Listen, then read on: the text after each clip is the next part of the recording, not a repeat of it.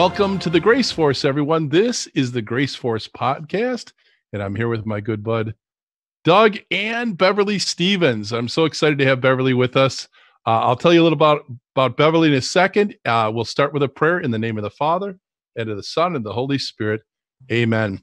Saint Michael the Archangel, defend us in battle. Be our defense against the wickedness and snares of the devil. May God rebuke him, we humbly pray. And do thou, O Prince of the heavenly hosts, by the power of God, cast into hell Satan and all the evil spirits who prowl about the world, seeking the ruin of souls. In the name of the Father, the Son, and of the Holy Spirit. Amen. Well, yeah, we're so excited to have Beverly here. You know, everybody is um, is talking about the coronavirus, and Beverly, uh, I've just been amazed what you've been putting up on the internet and the knowledge that you have about this. So we asked you to come on, and you were so kind to do that. Um, first of all, I want to tell you a little bit about Beverly. Beverly is the editor of Regina Magazine. It's an awesome, awesome magazine. Go go look it up. Uh, she's a native New Yorker with a 25 year career in banking and finance, plus seven years teaching finance on military bases in Europe. Uh, Regina Magazine has a global audience, and it's mainly of Catholics. So, you know, I've I've known you for a few years now. Um, I was going to call you Regina, Beverly. Uh, and uh, just um, I'm blessed to to have a friendship with you. And we've uh, we've we've been together with uh, you know some projects and things like that, but uh, just uh, connected on the internet mostly. And um, and again, I've been so impressed. I I, I find myself writing you a little uh, private message every, every about every day saying thank you. You know, thank you for for giving us such uh, rich knowledge about what's going on with this and uh, so you, you know you have contacts uh, around the world. Do you want to tell us a little bit about that, and maybe help us uh, understand a little bit about where you think we are with the coronavirus? Yeah, I think our perspective has a lot to do with the contacts that we have on the ground um, all over the world. I think right. probably the only place we don't have contacts is like Russia. Um, and that's the only place that I, I can think of.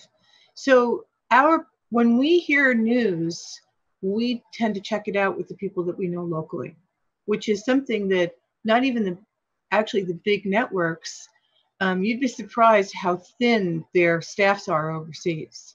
So that's why we look at everything um, in that way. So when this started to happen um, in mid-January, we immediately checked out with our sources in Singapore what was happening in China. Um, and what we got from them alarmed us. Um, I think that there was a the initial flurry of, of um, reports about, um, you know, what is this? What is this COVID nineteen? You know, was it invented in a laboratory? Did it come from this so-called seafood market in Wuhan? Wuhan, by the way, is a city of 10 million, which makes it bigger than New York. Um, wow.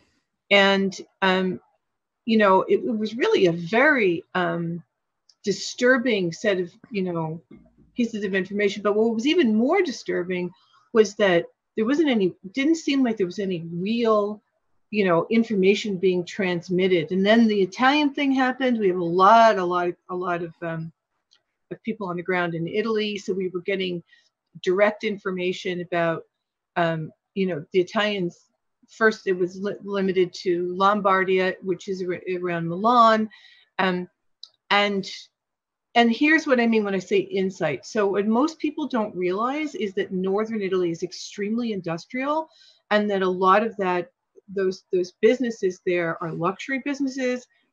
Um, you know the big brand names are there, um, and they manufacture luxury goods there the people who work in their factories, and this is going back 25, 30 years, are mainly Chinese.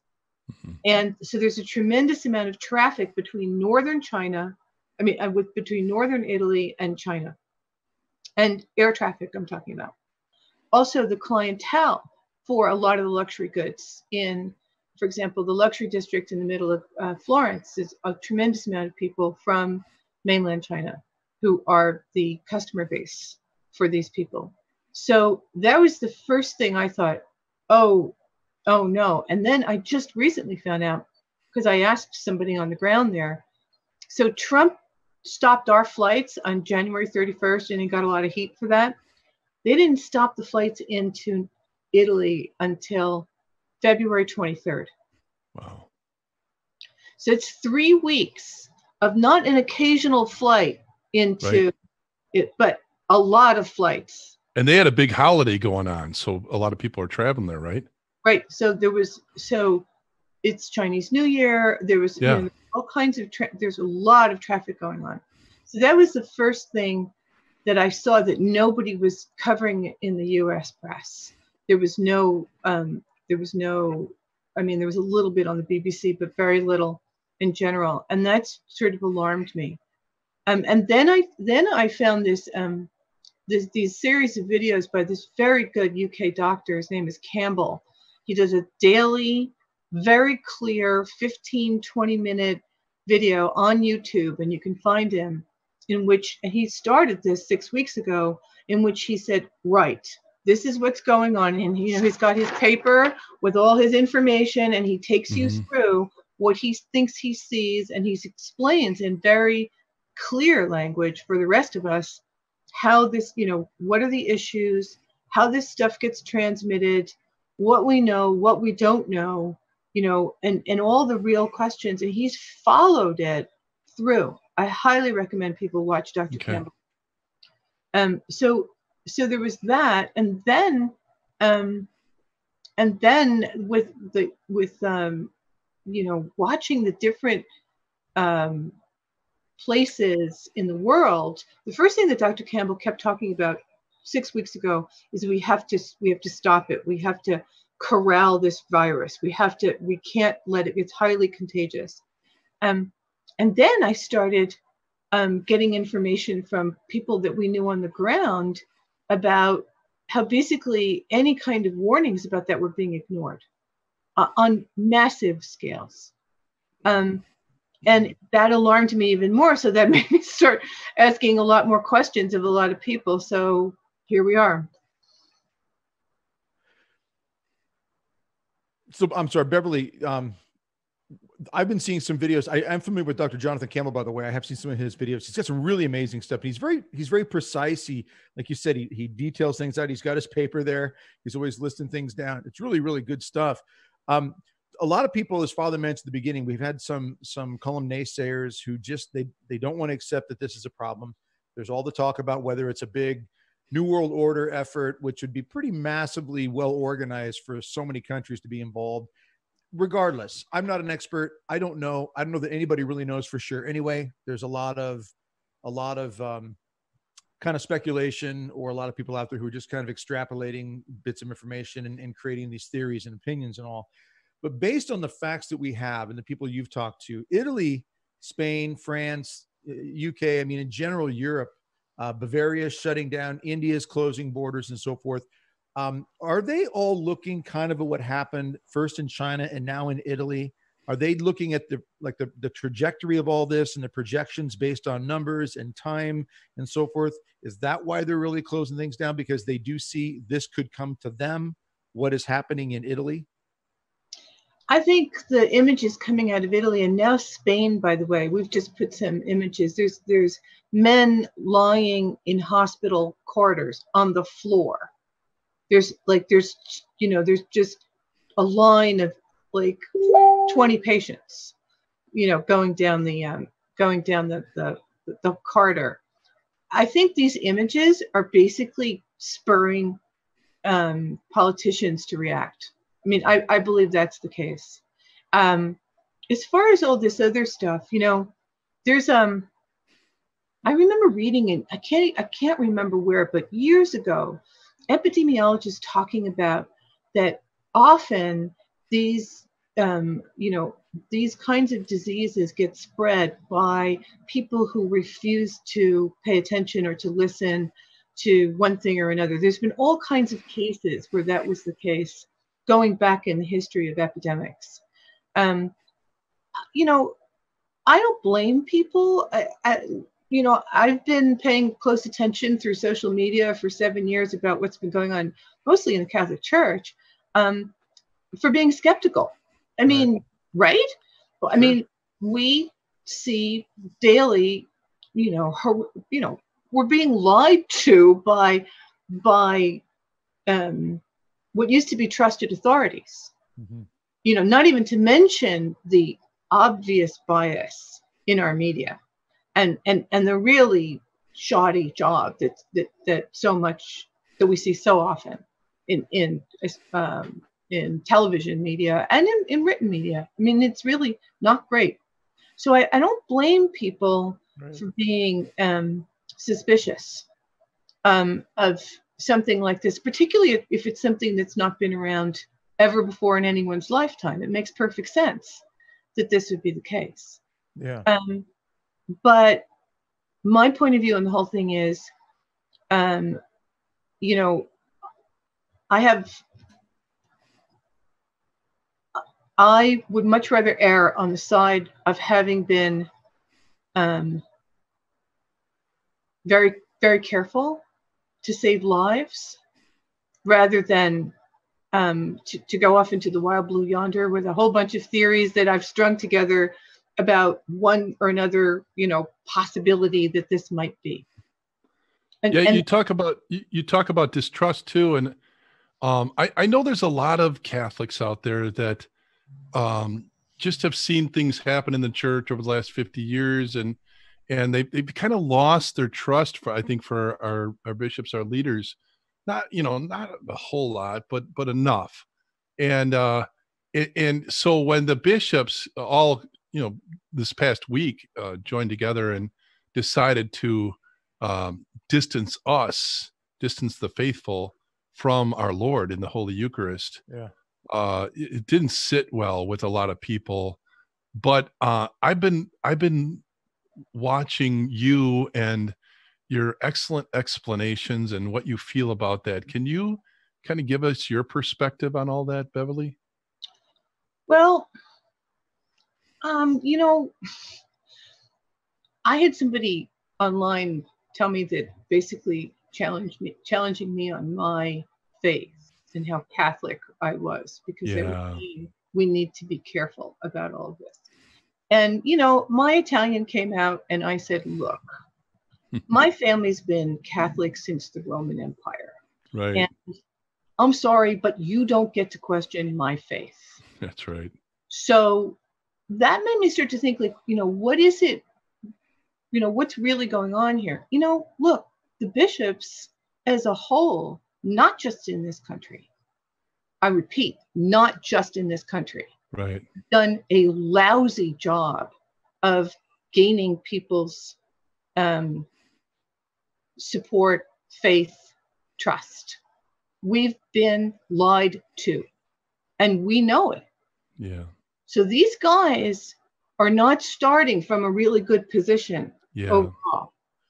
Right. So then you know the decisions that they made honestly i think they made the decisions uh, you know out of a combination of self-preservation and legal advice um, and you know that's they made their decision but you know i also happen to know um, i'm very privileged to know um, bishop athanasius schneider and when i first met him in london six years ago he and I had a three hour conversation. It's fascinating. He told me his whole story about his family growing up in um, in Russia, the whole backstory of, of who he was and where he came from. Now Schneider, he's okay, these people are are Germans that were essentially thrown out of Germany in the 18th century and they wound up in Russia and then they were around Odessa um, and the Black Sea, and then during World War II, because they were afraid that Hitler would come in with his his uh, Nazi army and combine with the Germans. They dragged those people out of their homes. But in all this time, can you imagine? They all still speak German. It's they still they hold their they held their faith and they held their Germanness. So even though Bishop Schneider is my age and he grew up in a you know in in a in Kazakhstan, which I didn't even know where it was until I met the guy. Um, he, you know, the family kept the faith under the most amazing circumstances.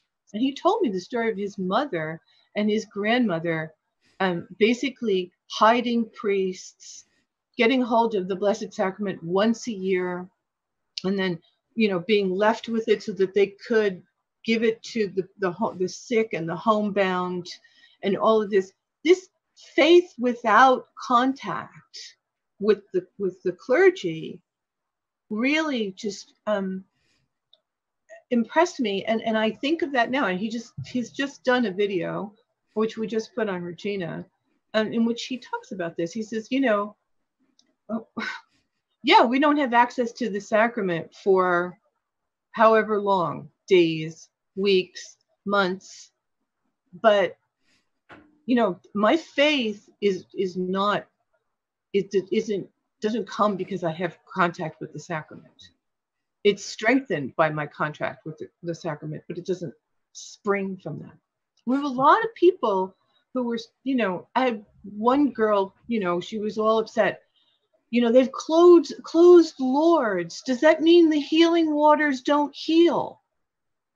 I'm like you know it, what is is this the result that we're talking about after 50 years of non-catechesis that people don't understand how things work? And yeah. another woman tell me no one has ever been sickened by contact with the host and the precious blood. I'm sorry accidents? Do we understand that concept?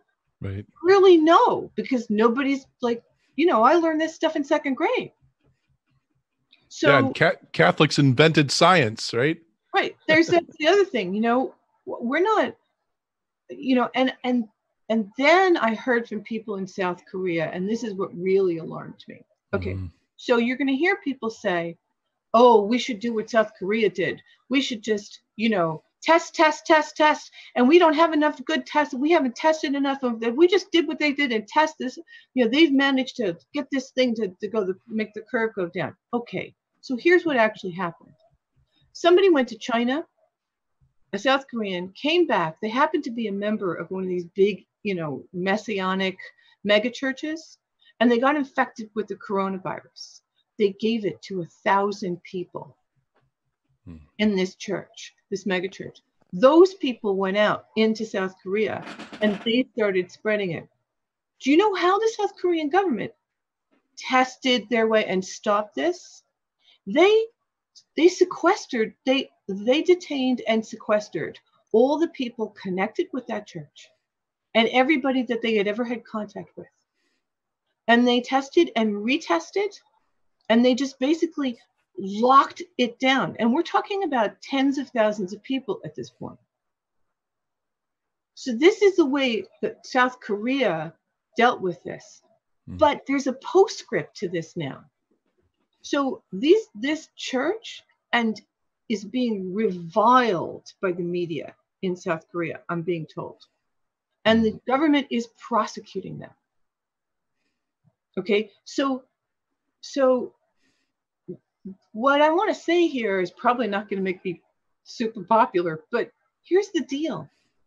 You know, we're not people, Catholics have never been people who are we don't have you know who live in some sort of dream world we mm-hmm. we are people who have our feet on the ground in fact we're the center of civilization the one that sprung science and engineering and all that other stuff right.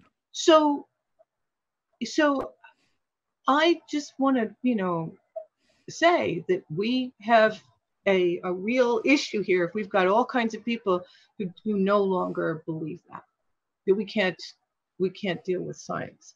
And and you know, as far as the bishops are concerned, I want to say a shout out to Phil Lawler for his most recent piece.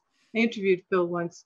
Um, he said, you know, um, there, you know, the, he joined the chorus of voices about the bishops, but he basically said, well, what can bishops do with what they're not doing? All right.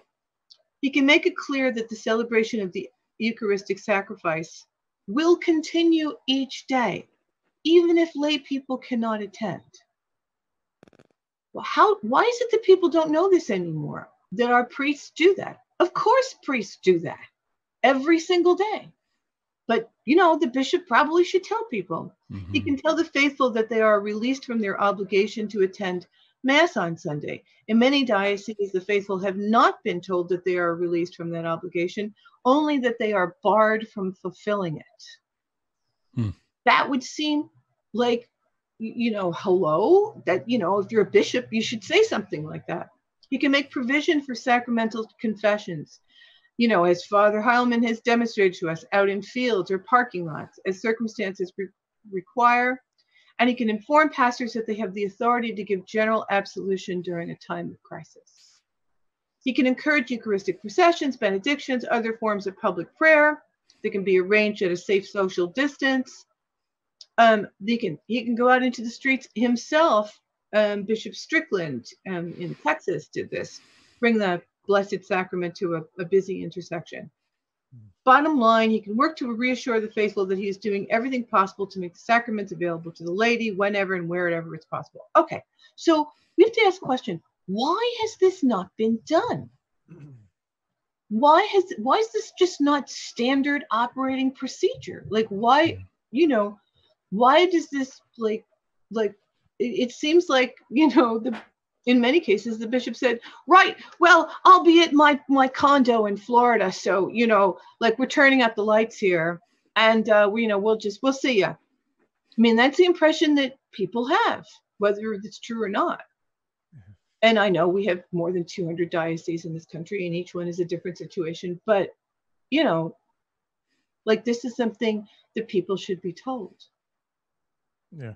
But overall again this is just you know what you just said doug before it's true it's it's a an issue people have lack of trust right right yeah i see the lack of trust and i also see so many out there who they'll read this article or that article from the cdc or from who world health organization or or this group or that group and they'll they'll create an entire theory or opinion based on one or two articles rather than you know i mean the videos that i've seen that are coming out of um, you know, uh, Italy or out of Spain.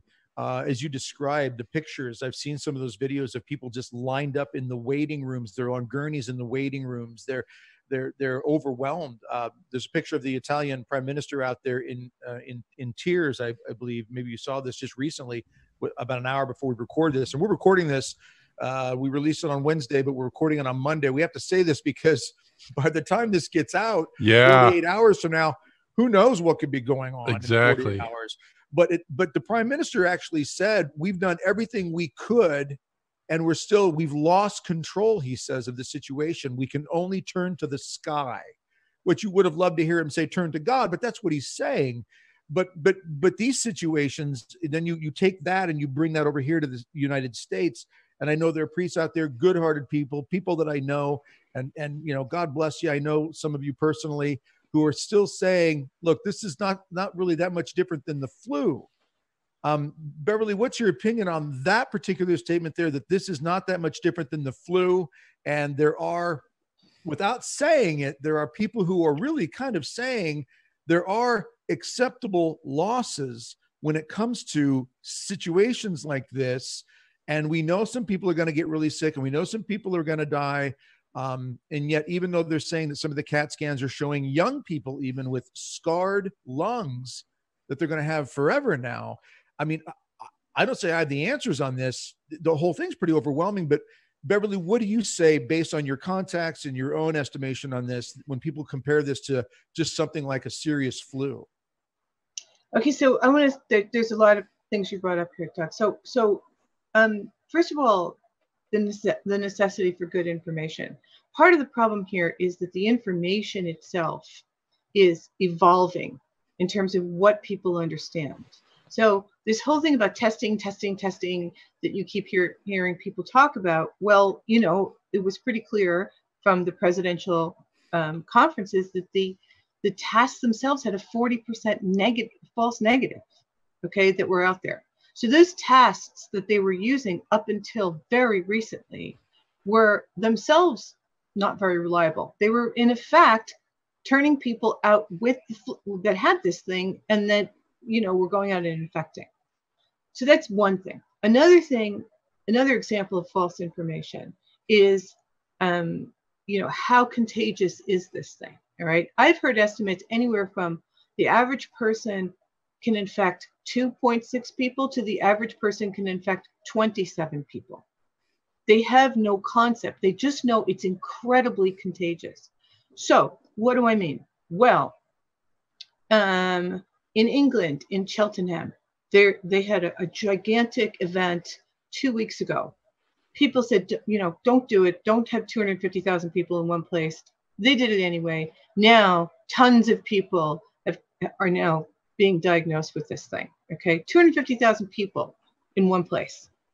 Same thing with Florida, with um, you know, uh, spring break in Florida. Another example.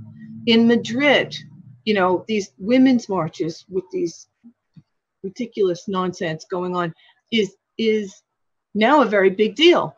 You know, it, it's become fashionable. Uh, so there was like something like hundred thousand people at a march in Madrid. All these people are now coming down with this stuff.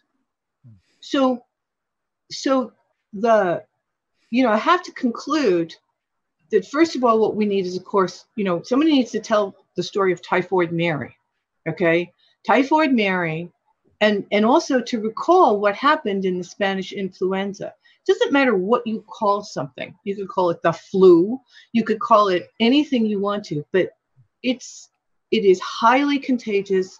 It is deadly. another piece of false information. It doesn't affect young people. Well, gee, the Italians were trying to tell people, of course, you know, through the internet because the the uh, the, the media was useless on this.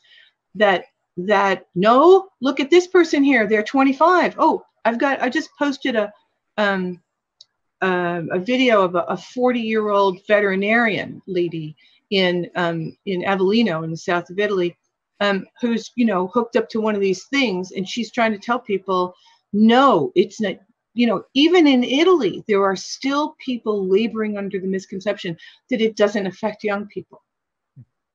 So it's a, you know, yes, will it kill older people?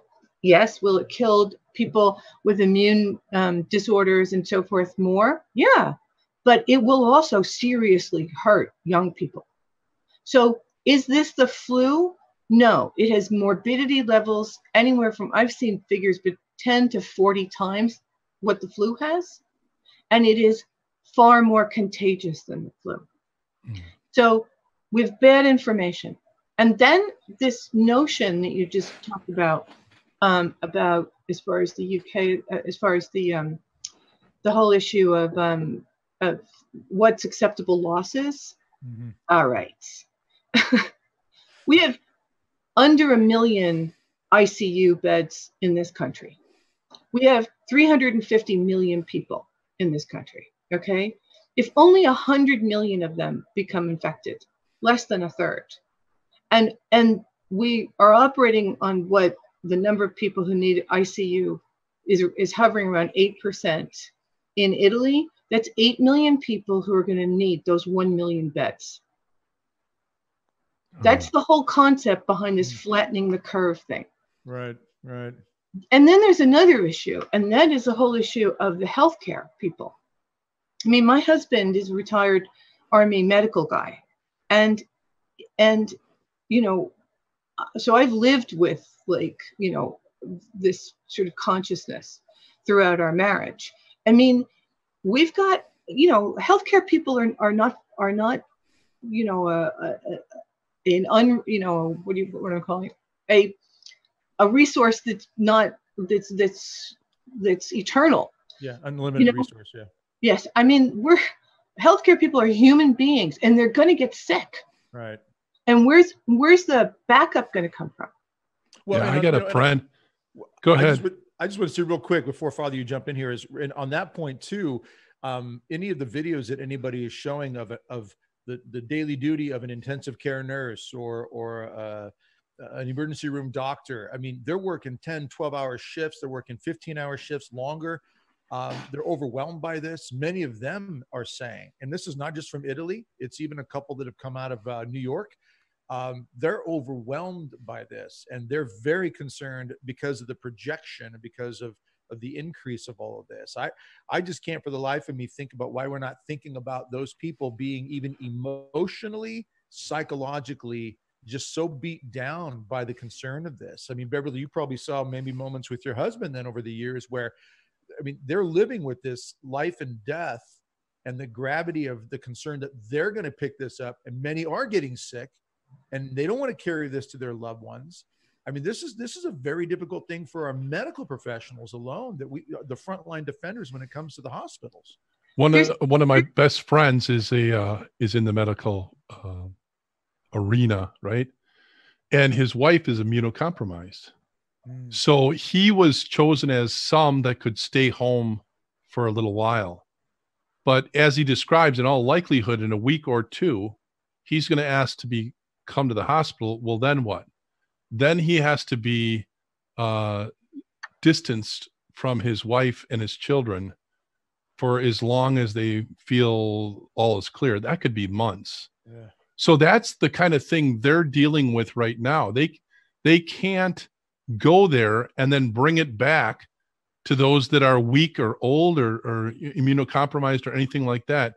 You know, this is a period of time I think that heroes are going to be rising up. And and we're going to look back on this time for you know many many probably hundreds of years and see all the heroes that that that rose up and and decided. And you know i've been i've been encouraging catholics to um, be that hero right? You know be be that hero. You got a choice. You can you can choose heroism or you can choose the fetal position you know? But do it under the power of grace. And a lot of people apparently are listening to that because i have a steady flow to my uh, rectory confessional for people coming to receive you know the the absolution and and uh, be to be you know detoxed from all their sins and so ready to be, filled with god's amazing grace. But uh i think heroes are going to rise. Don't you Be- uh, beverly? Well they are and um and and i'm starting to see it myself. And and i think it, it's going to come as a result of people realizing a few things. I mean um first of all we can live without our conveniences Right. Okay? So, um, I mean, I cook every night anyway, so to me, it's no big deal. But hey, you know, family time around the table, that's a really good thing. And, right. um, you know, there's so there's there's there's upside to what's happening to us that I think will will change people's lives. I also want to say one thing before I forget about this acceptable casualties thing. All right. So um, the the UK was going to do this, according to my UK contacts. As of 10 days ago, the policy that they were going to use was basically they were looking at it like this. Well, our economy is based primarily on communication and transportation. London is the hub of not just Europe in terms of business, but also Africa, the Middle East, and big chunks of Asia. So, from their point of view, stopping the flights coming in was not something that they were going to do. Wow. So their point of view was okay, so let's just go ahead with this thing and we'll just let it wash through the UK. We'll put everybody, we'll tell everybody who's over 70 to, you know, basically bar themselves in their homes. And we'll let the flu hit and we'll keep the, you know, we'll keep the, the old folks' homes secure and we'll you know we'll get herd immunity. This was the whole concept right? Yeah. The uk's doctors rose up against this and said and and then not to mention doctors from around the world like absolutely not. Mm. this is not acceptable. This is this is not acceptable to do this. So i think that what we're seeing is a general consensus emerging among authorities about how it is that we should deal with this thing. And I think it's going to go, this is, you know, this is just me, but I think it's going to go something like this. Basically, lockdown. I mean, America is hard to compare to other places because we're not a country, we're a continent. All right. This is a big, big, big place. And if you don't believe me, fly over America and look out of the window at night. You could fly for an hour and a half and not see anything. No kidding. So yeah. this is a big place. So so certain places are hotspots, right? Seattle, my own native New York. Um, it, there's there's a couple of other. New Orleans is is not great. Chicago. So so I think that the strategy that they're looking at, or one of the strategies, is to isolate those hotspots by locking everything down as much as they possibly can. Getting to the people and testing the people who come down with this, but testing them in those drive-through facilities, which they're starting to set up, so that they keep the people out of the clinics and the hospitals so they can't infect other people if they have it. And they can't pick up the infection if they don't, right? So get a lot of people tested, get them through the system, and then find out who their contacts were, get those people tested, and get them isolated. And do it on a place by place basis. I think that's the strategy that they're looking at. Hmm. So that's that's just my seat of the pants, you know, feeling. Uh, again, this thing is is moving so fast.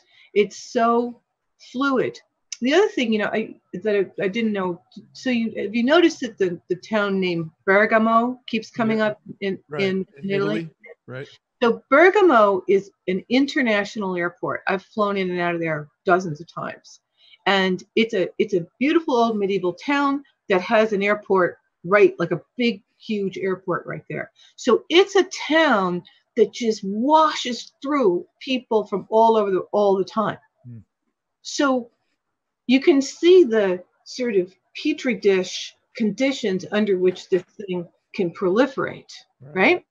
Maybe not where you are, Father, because you're you're kind of the opposite of Bergamo. So, but the point is, you we want to identify the Bergamos, and we want to put our resources against those and and nail this thing down. Yeah. Now, when when your your contacts that you have, Beverly, which I I, I find is one of the most helpful sources in times like this because it, it is so hard to trust any of the major news networks. Um, and when someone sends a message or there's someone who's working at a hospital in a town, they're right there, their boots on the ground, so to speak, right, right in the thick of it what are they telling you even like do you have any contacts over in china singapore china's been been saying they've got no new cases for a couple of days and then they started saying well we've got a few but they're coming from people who are coming into china. But we've really kind of solved the problem here in china. Now they're a communist government so i my first response is i, I don't trust it. But then i've seen some videos of some uh, independent news outfits who are who are who are saying that the residents there are leaking information out saying that they don't have this under control that there are more cases and that even in beijing they're talking about um, and hong kong that they're talking about a second wave that may be coming do you know anything to uh, any contacts in in these areas these regions that, that could uh, verify any of this i don't have anybody in china but i do have like i said good sources in singapore um, and, you know, they have taught me a lot. And the first thing they've taught me is that the Chinese lie. Hmm. And the second thing they, t- they, they have told me is that, and when I say the Chinese, I am referring to the government of China. Right. Um, that the government of China not just lies, but it has a, a completely um, um, amoral approach to management. Essentially, what it, what it's all about is what's going to work. If it's you know if it's going to get us what we want, we do it. There just is not the regard for life.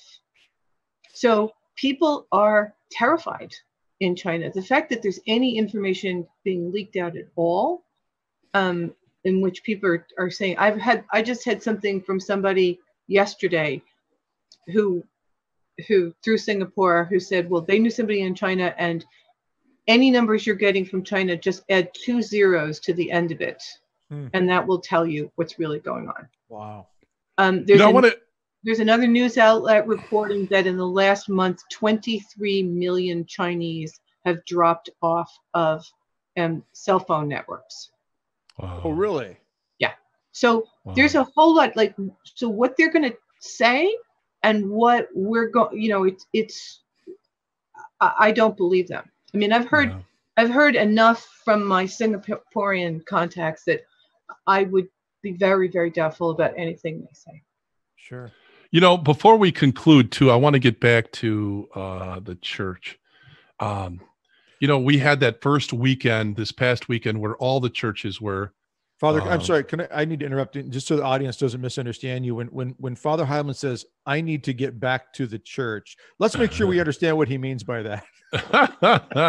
Father didn't leave the church. topic of the church the topic. We- of the I, church. I just want to make sure everybody Yeah. understands. Thank you, Doug. so anyway, uh, getting back to the topic of the church, um, you know, I, I, I was um, I was reflecting this weekend when I when I was sitting there preaching to an empty church, but we had live stream, and uh, you know, it's it's different.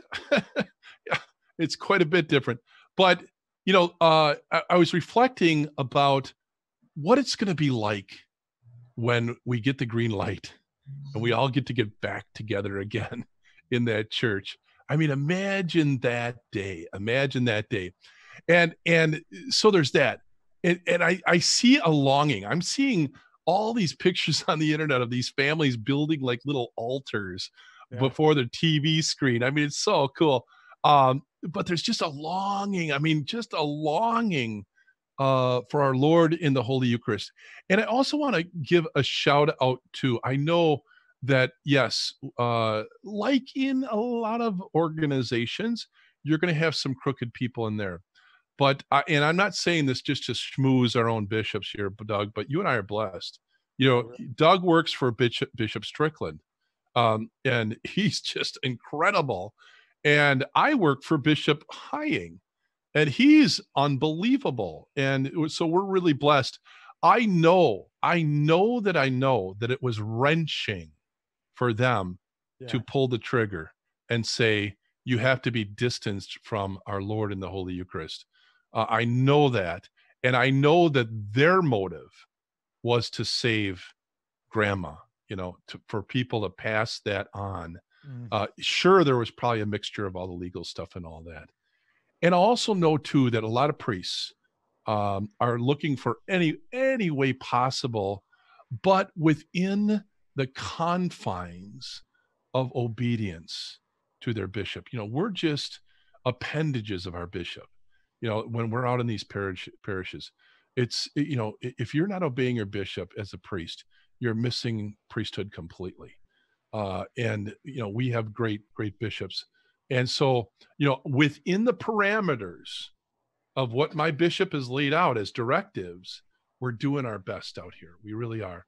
And and I, I just I'm I'm so grateful. I'm seeing so many uh, amazing ideas. I'm stealing a lot of them from the priests around the nation, uh, in ways in which they're they're they're able to uh, serve their people again within the parameters of the directives of our bishop. So it, there's there's lots of good news out there and a great hope uh, for that wonderful day when we'll all, all return. But I think you know I've said this and it, it, I said I I think I use the image the child runs out into busy traffic and the father calls out to that child says get back here and the child turns around comes back tearful knows that they were wronged begs forgiveness. The father throws the arms around the child and says oh i love you and i forgive you. You're grounded for 2 weeks. Okay? Why? Because to understand the severity of what that child just did. Mhm.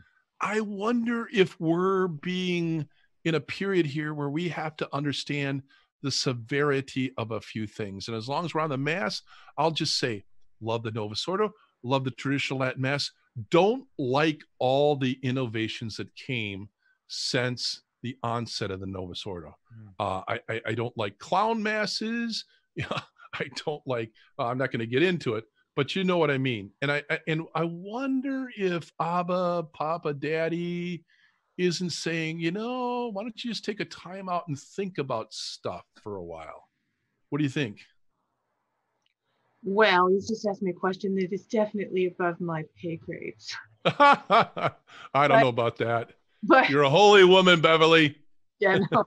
but but um, I, I would think that you know it really is sort of remarkable what that we have seen um, so much um, in the church in terms of corruption that um, that this particular virus would come along the way it is um, would certainly I think make people um, start to think about their own mortality.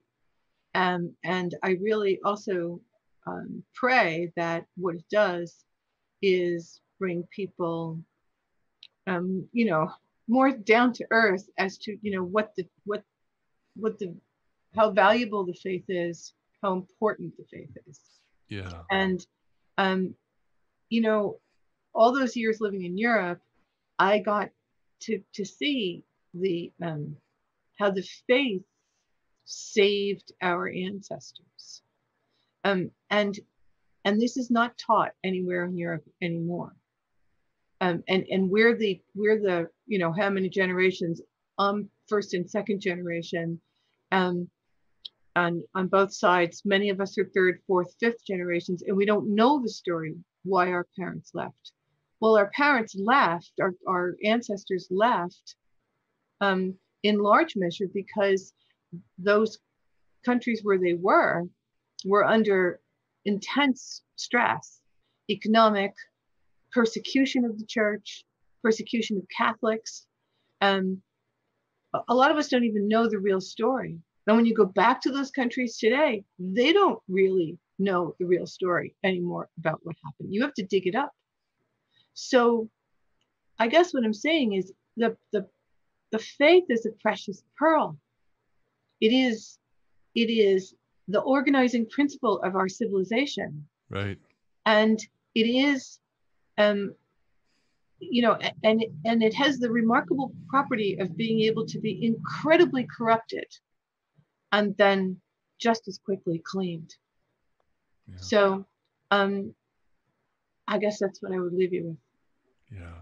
Well, you know, on, on this subject, Father, I know my wife and I, we, uh, uh, this last Sunday, you know, celebrated Mass in the living room, you know, Yeah. watched it on TV. And, you know, at the, at the, at the moment of communion, you know, uh, we both had tears in our eyes. And Yeah. I know that we're not the only ones. There are a lot out there. I mean, I, there's a side of me that in a, I mean this in all due respect, Father, I envy the priest right now because you get to receive Jesus every day Yeah. you know, in these times. I think about everyone when I'm consuming our Lord. I'm just like, oh, you know, I know what you're feeling. I mean, I, I understand what you're feeling. but it's it's one of those moments where you know, for those of us who are trying to be faithful Catholics, and I speak to all the faithful Catholics out there, those who are struggling and trying, and we're weeping a little bit, whether it's literally or just internally, interiorly. I say weep. We have a lot of reason to weep.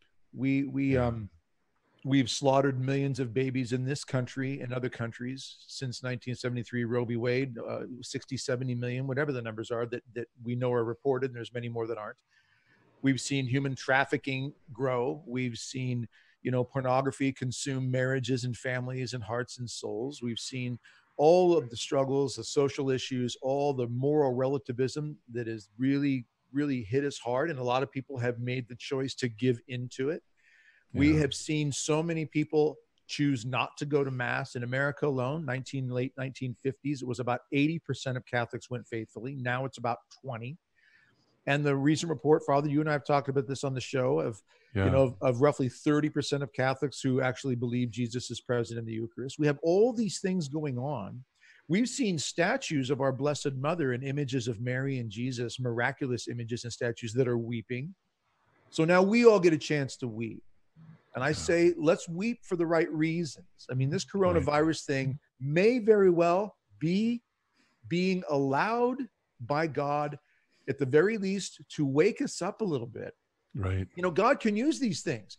If He can use the cross to bring about the salvation of the world, He can use a- an infectious disease that's that's really impacting the whole world economically and and through health and so forth and families. I mean, the images of of um, recently an image of a man serenading his his wife who has Alzheimer's in a nursing home through the window because he's not Right. allowed to go into the building. We see these and it wakes us up to something and it's stripping away our false gods and giving us an opportunity to actually really look at what's important. And maybe God is saying, like you said, Father, hey, out of the street, I love you so much. I've got to discipline you now. Right. I've got to allow this to become a discipline. And I know there are people out there who say, no, this is not an act of God. No, this is not a chastisement. And my answer to that is, you don't know that. Yeah, we, we don't, don't, know, know the mind of God, but what we do know is that the Blessed Mother has made clear in in and we can we can speak to the church approved apparitions where she has made clear over and over again just in the last hundred years that this mm-hmm. country, this world, God is not happy with our ingratitude. That's what the angel of mm. peace said in 1916 to the children of Fatima. He is very angry over man's ingratitude. In Akita in 73, Sister Agnes was told by our Blessed Mother that God is preparing a great chastisement for the world because the world needs to know his anger and his wrath because of our sin. I mean, we have all these reasons to believe that God might be kind of kind of giving us a hint, mm-hmm. really. And by taking the mass in in this in this situation and and and where we cannot come to him so freely anymore, hopefully right. we do weep inside enough to more deeply appreciate I like what you said, Father, in the post that you put out a, couple days ago about. I, I, you said I look forward to the day when we're all together in the mass again. Yeah. I, I hope I don't bawl through the entire thing. I know. I, I mean, because you're right. I, will. I will. We're, we're going to appreciate it much more differently yeah. the day we're all allowed to go back to mass without yeah. this fear looming over us. Yeah. Beverly, you want to? We we're gonna. Uh, we're at the tail end here. You can you close us out with some thoughts you might have? Well, um, at the risk of being ridiculously prosaic, um, people need to stay home, yep. wash their hands, disinfect yep. everything that comes in the house. Yes. Um, I've just published and I thought very good guidelines for those of us who do fly because you have to, you know, fly with a mask and with gloves disinfect everything around you on the plane. And when you get off the plane, take your clo- go into the bathroom, take your clothes off, and put fresh clothes on, and launder those clothes. And when you get home, wash. Yeah. I mean, shower and all that. I mean, this is, as I said, this is prosaic, but this is very important. Yep. Because again, the state of information that we have right now is not is not, I mean, I've heard people say, "Oh, no problem. You know, if you if you touch a surface three hours, you know, later, the, you know, the virus is dead, or the virus dies in heat. Mm-hmm. Both of those things are wrong.